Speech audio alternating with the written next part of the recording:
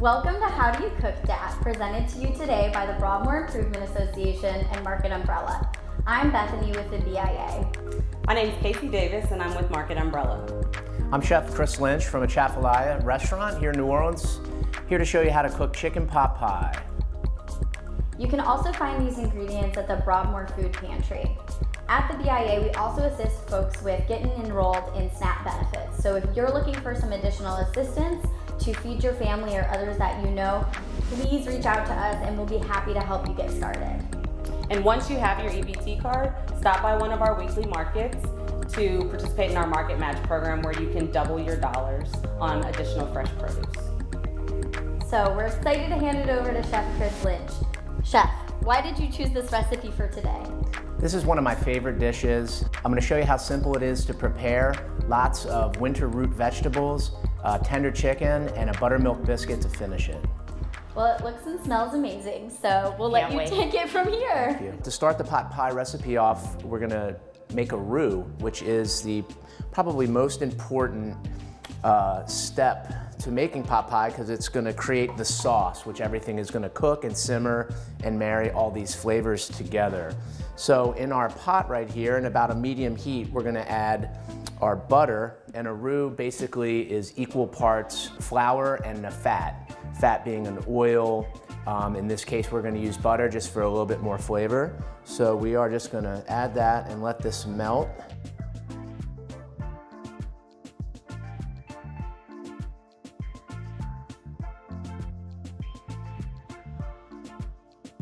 Once our butter is melted, we wanna add some flour, equal parts, and we just wanna whisk that into the hot butter so we don't get any lumps. And this is going to thicken the sauce for the chicken pot pie. And basically you're looking for a wet sand type consistency. And we're just gonna cook this, gently stirring it for three to four minutes and cook a little bit of that flour taste out. And if you were making a gumbo, you would cook it for a lot longer and get a lot more color in it. All right, folks, now we're gonna add our stock. This is chicken stock for the chicken pot pie. We're adding that to the roux, and we are gonna bring that up to a simmer. We're gonna cook that out for a little while. That's cooking along. I'm gonna bring that up to like a bubbly simmer. We're gonna start adding our ingredients for our pot pie. We have potatoes and turnips and carrots and celery. We're gonna add that all in and stir it in there. So now we have all of our root vegetables in here, and we're just gonna bring this up to a simmer until they're nice and, and tender. And add a little bit of water to that.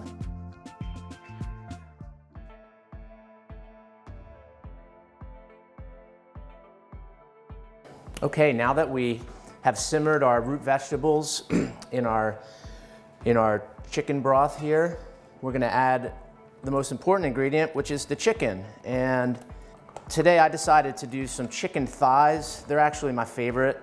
They have lots of flavor, affordable. We are gonna season them. We got our salt and our pepper, and we're just gonna mix that up. Make sure it's well seasoned. And we are gonna stir that in and let that cook. And now we are gonna gently simmer our chicken with our vegetables till it's cooked all the way through. I'd probably say that'll take about 10 or 15 more minutes. All right, we have some beautiful fresh thyme here. We're just gonna pull this right off of the stem. And then we have some rosemary also. And then we're just gonna chop that nice to make sure we don't have any stem. And you can always use dried thyme leaves or dried rosemary if that's what you have. There you go, nice and nice and fine, just like that. And we're gonna stir those in. Mm, this is looking really good. Our little crystal hot sauce here. Add a little bit as much as you like, and a little bit of Worcestershire sauce too. Then we're gonna taste it. So we always gotta taste our food and make sure you have enough salt and pepper, spice. Mmm. Gonna add a little bit more salt today, just a little bit. And a little bit more pepper. We got some beautiful little fresh edamame to throw in at the end here, just to heat it up. They've already been cooked and taken out of the shell.